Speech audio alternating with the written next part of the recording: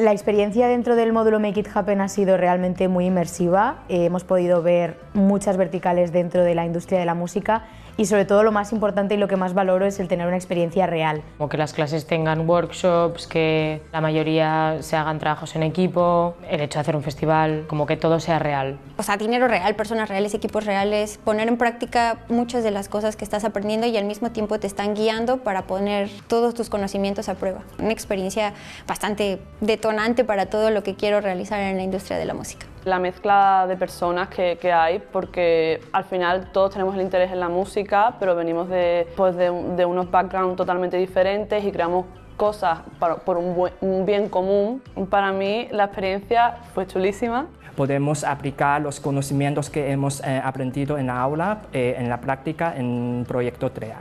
Porque no solo te ayuda a tu currículum para conseguir trabajo, pero sino te ayuda en conseguir experiencia para lo que viene después en tu vida. ¿no?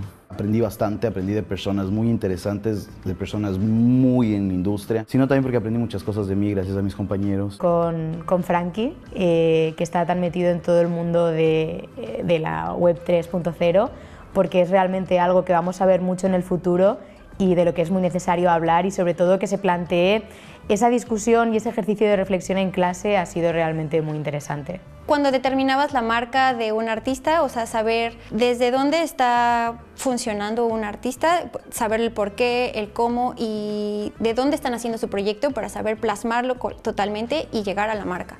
De Sofía eh, fue un golazo porque es algo que es súper necesario. Es algo que la gente no sabe que hacen en la industria de la música y que no sabe que se tiene que hacer. O sea, es una parte de la industria que la gente no considera que es importante. Y yo creo que es tan importante como tocar bien la guitarra, o sea, conocer el proyecto y saber vender ese proyecto respetando las fronteras del artista. El de Doctor Me, que era como escoger a tu equipo creativo y dónde encontrarlo. Pues mi workshop favorito fue el de Estefanía Pérez, de, de Elvida, que es la directora de arte, y fue muy guay porque nos dio una visión bastante distinta de la industria de la música, como que ella venía de un entorno bastante técnico, de la arquitectura, y nos dio como esa visión de que todo tenga coherencia de un festival y lo aplicamos bastante a nuestro festival. La verdad es que cada etapa es realmente muy diferente, ya que trabajamos en tantos mini proyectos diferentes, pero lo que más destacaría es el festival, el poder ver la puesta en escena de todo lo que hemos estado trabajando durante tanto tiempo y que todo salga bien, que el público lo disfruta, que el artista tiene una experiencia que de otra forma le costaría mucho conseguir, es realmente muy gratificante. Yo creo que me quedaría totalmente con el directo, la parte de poner a prueba todo, todo lo demás que ya estuviste trabajando, el enfocar a todos tus esfuerzos en hacer un buen directo creo que es vitalicio para cualquier artista. Con el artista me gustó mucho la etapa del videoclip, la etapa de la imagen, porque trabajamos con él pues todo, la imagen y el imaginario que él pensaba para su videoclip. Y también era porque al final de tantos meses se veía como que ya se estaba llegando a algo. Yo creo que el festival es un, es un recuerdo que fue wow, hicimos esto.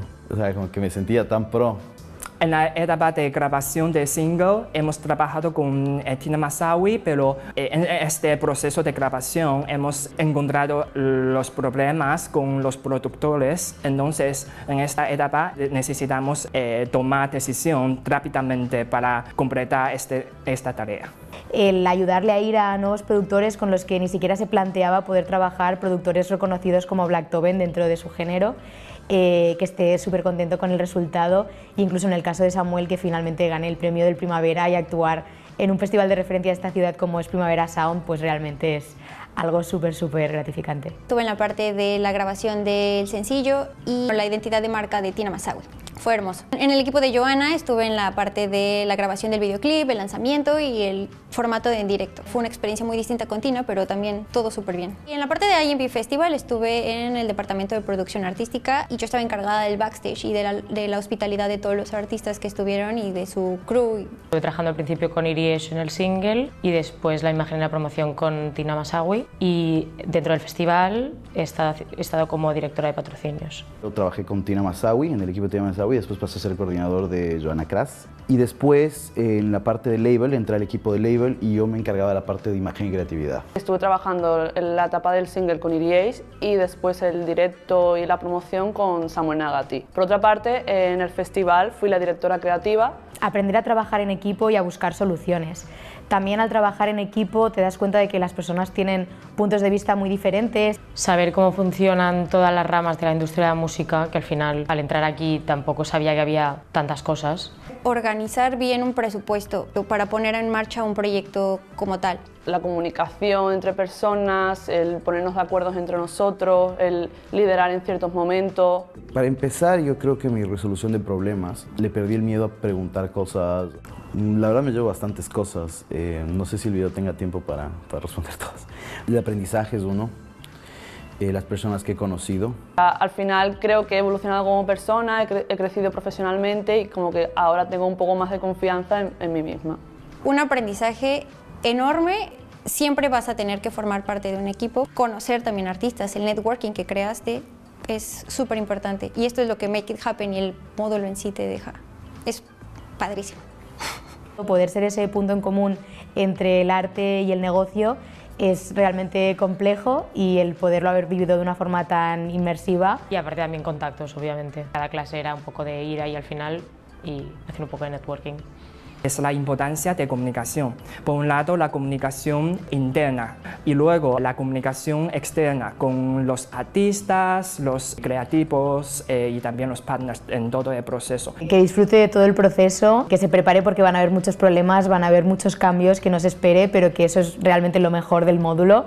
La mente muy abierta y también mucha resiliencia. Como que no tengan miedo de ir a hablar con la gente, que, que no somos más pequeños que la gente que nos da la clase y que dentro de un año quizás estamos trabajando con ellos. Que no miedo, que no tengan miedo a preguntar, que no tengan miedo a empaparse, que no tengan miedo a meterse, a equivocarse. Que si realmente te quieres dedicar a la música, vea por ello.